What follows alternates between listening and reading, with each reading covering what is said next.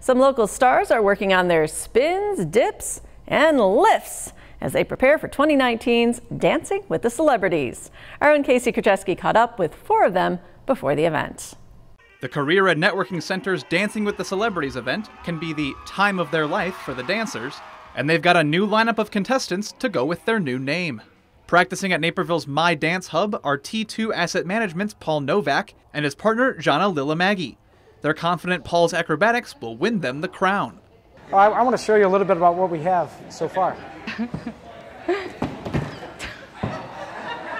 so good, right? So good, Perfect. right? Nailed it. We've been working about four months on that. It's fantastic. Yes. The Naperville Area Chamber of Commerce's Kara Carpenter has only had a few practices with her partner Iegor Likhachov, but that hasn't stopped her from getting ambitious with the routine. She oh, feels very comfortable with everything. Oh, yeah. She want to do a lot of different things, and I'm like, maybe we, we should keep it for now. I wanted to pull out all the tricks.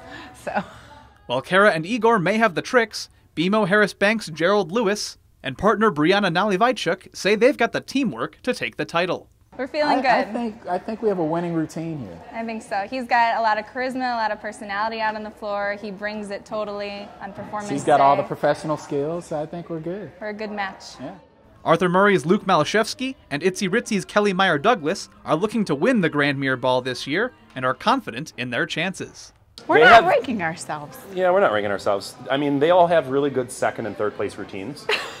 So, See what I got to put up with?